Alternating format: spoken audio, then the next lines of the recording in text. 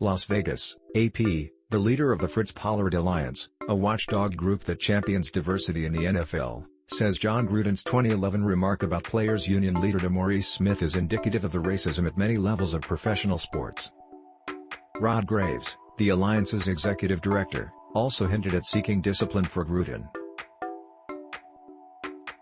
A Wall Street Journal story noted that Gruden, then working for ESPN and now coach of the Las Vegas Raiders, referred in a racist way to Smith's facial features in an email. The insensitive remarks made by Jon Gruden about DeMaurice Smith are indicative of the racism that exists on many levels of PR. Furthermore, it reveals that the journey for African Americans and other minorities in sports is riddled with irrepressible mindsets at the highest level. It is our hope that the league and team ownership will address this matter with a remedy commensurate with these painful words. This is yet another inflection point in a society fraught with cynical social blinders, absent of respect for the intellectual capacity and leadership of minorities. When will it end? The league is looking into the matter and a person familiar with that probe told the Associated Press that disciplinary action is possible for Gruden.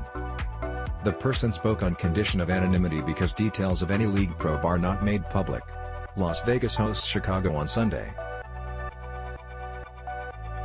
The alliance promotes inclusion and advancement for minorities in pro football, from coaches to front office and league executive positions. Gruden's comment in an email to then Washington football team president Bruce Allen came during the 2011 lockout of the players by the NFL. Gruden told the newspaper he was angry about the lockout during labor negotiations and he didn't trust the direction the union was taking. He also apologized for the remark, the Journal reported. DeMaurice Smith has lips the size of Michelin tires, Gruden wrote in the email reviewed by the newspaper.